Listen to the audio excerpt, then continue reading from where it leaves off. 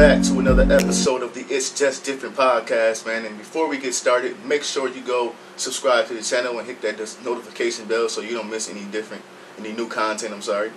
And also, make sure you go to my Facebook page. Yes, I do have a Facebook page, the It's Just Different podcast Facebook page. Please go there, man. That's where I will be uh, showing or uh, rather sharing all of my videos on social media.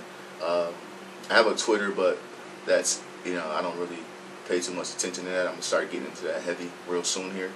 But um, it's, it's, you know it's hard doing different platforms, and different things, and trying to share everything on on different platforms, man. But let's get started, man. The Minnesota Vikings fall to the Tennessee Titans, 31 to 30 on Sunday, and uh, shout out to the guys at scored North Purple Daily Podcast who had me on after the game uh, on the vent line, and you know we all knew this team was going to be bad. We all knew this team was going to be bad, but to watch it, you know, it, it, it hurts. It's disturbing. I actually was watching that game when we had the lead 30 to 28, and I just knew that Tennessee was going to kick a field goal and win the game. I, I just, I just had that feeling. Being a Vikings fan, we either lose by a field goal or lose by us missing the field goal. So um, that's how I felt with that with that one, man. And today it turns out that uh, you know we may be getting some good news. You know, all these people talking about tank for Trevor, and I'm not a I'm not a guy who's gonna watch Team Tank. I'm not doing that. But turns out that the Tennessee Titans had eight COVID positive tests, so the Tennessee Titans and the Minnesota Vikings have shut down in person uh, contact until I guess the Vikings is until they get their their test results back, which will be tomorrow, and the Titans is until Saturday. So, um, if there's any positive tests that come out of Minnesota, uh, that could um, not be a good thing. Might have to forfeit some games or postpone some games. If I'm a Minnesota Vikings fan, I'm urging if you're if you're urging for them to tank for Trevor I would tell them, man, the next couple weeks, please just tell other teams before forfeiting. but I, am not, I'm not uh, resigned to that at all. I don't want a team tanking. I, I, again, I talked to the guys on Purple Daily about that. I would not watch a team tank. I would not watch a team tank. Um, and, and, and none of us believe they're going to tank, right? No, I don't believe they're going to tank. They're they're just too talented to tank. I believe that they're going to start getting some wins and, um, you know, it is looking like more of a. I had a 10 6, 11 and 5 record. It's looking more like 7 and 9, 8 and 8. And you never know what the new playoff, the new extra playoff spot, and the New York, the, the NFC East being bad, and a lot of teams that we thought were going to be good is under 500. We just never know how the records at the end of the day will be. So um, I'm hoping beyond hope that we get this thing going. Uh, this is the first week that Danielle Hunter can be back, but no one expects him to be back this week. So uh, we'll just, we'll just see, man. We'll just, we'll just see. But I was I was thinking earlier. Okay, I'm just gonna go. I want to automatically go to 2021, right? Because this year is not gonna be good. The defense is pretty much built for next season. With Michael Pierce opting out, who was the guy in the middle, our big, our uh, free agent signing, which is why we're getting ran through on offense. Um, today, I'm not going to get into the offensive line.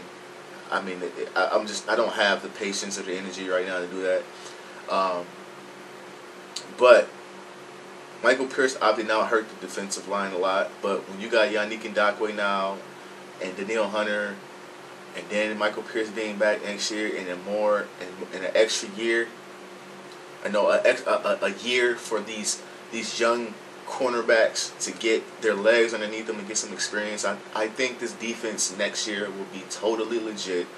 Um, Anthony Barr's contract, will he be back as a Viking? I don't expect him to with that high number.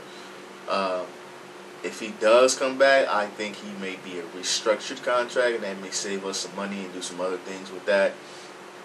But as a fantasy guy, like I don't do much fantasy football. I am this year, but I'm not too big into it. I just don't really know what I'm doing. But um, I was thinking as a fan, like you know, sometimes in the fantasy world, we we like everybody on one team that you know that we think are great players, right? So I was thinking, man, like, let's just say the Minnesota Vikings somehow are just horrible this year. It ends up with top five, the number five pick in the draft, right? And let's just say you got Trevor Lawrence is the number one quarterback. I don't know who's ranked number two. I keep forgetting the, the guy's name, but I do know Justin Fields on most boards is number three. And let's just say those three guys go within the top five. Go before the Minnesota Vikings pick. So let's say Trevor goes one, other guy goes two or three, and another guy goes four. And let's just say one of the best wide receiver talent to come out of the draft in a long time, and Ja'Marr Chase is sitting right there. Another LSU guy is sitting right there for the Minnesota Vikings at five. Now we all know what we need. We need offensive linemen. We need defensive linemen, defensive tackles preferably. Let's just say we need guards to be specific on the offensive line. Let's just say Rick Spielman is sitting there on the clock and Ja'Marr Chase is just sitting right there. I mean, literally right there. Do you think that Rick Spielman will pull the trigger and go, you know what? If we're going to be bad, let's at least score some damn points. And what would you think of, of offensive weapons like Ja'Marr Chase, Adam Thielen, Justin Jefferson, Dalvin Cook, Irv Smith, Kyle Rudolph, Alexander Mattison, Like, I mean, as a as a as a as a fan, you kind of go, "Wow, like that'll be dope." Offensive line won't be great. God only knows what will happen. Um, but I'm not mad at it, man. Like I, I don't see it happening. Of course, I don't really think we're gonna get top five pick. But again, it's just fantasy.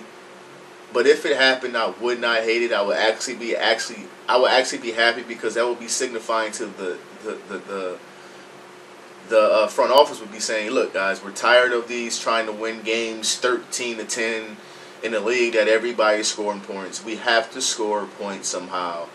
And I don't expect if they if they did that, if Gary Kubiak would be back. I just I just wouldn't expect that.